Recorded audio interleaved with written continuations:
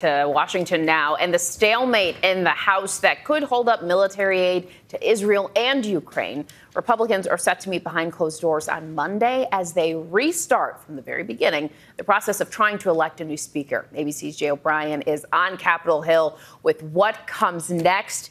Jay, good morning to you. It's been a long week up there.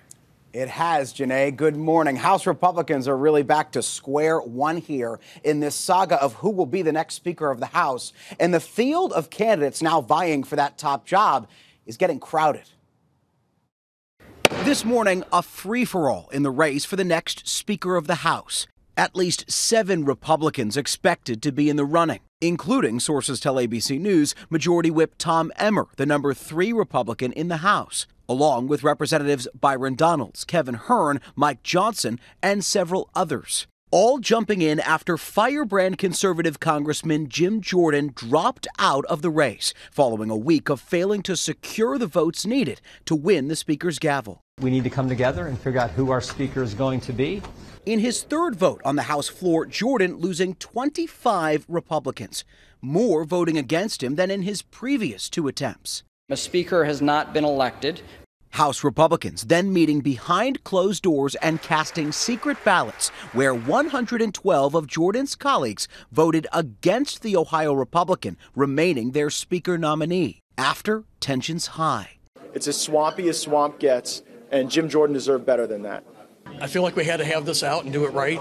But 18 days after former Speaker Kevin McCarthy's ouster, House Republicans remain deeply divided and no one has a clear path to the required 217 votes to be Speaker. There's a lot of deep wounds that need to heal. Was there anyone in your view that can get to 217?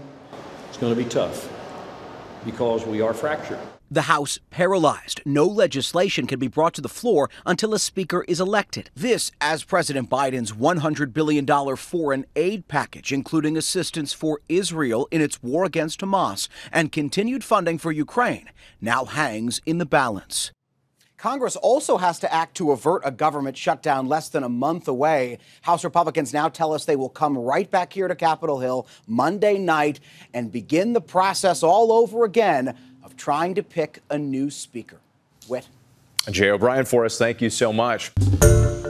Hi, everyone. George Stephanopoulos here. Thanks for checking out the ABC News YouTube channel. If you'd like to get more videos, show highlights, and watch live event coverage, click on the right over here to subscribe to our channel. And don't forget to download the ABC News app for breaking news alerts. Thanks for watching.